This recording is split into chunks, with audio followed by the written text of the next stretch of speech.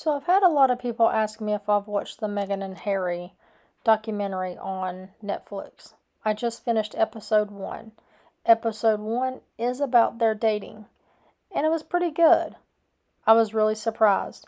However, I will say that I do believe that Harry may have married Meghan because she reminds him of his mother. That being said, it's a pretty good episode. Check it out.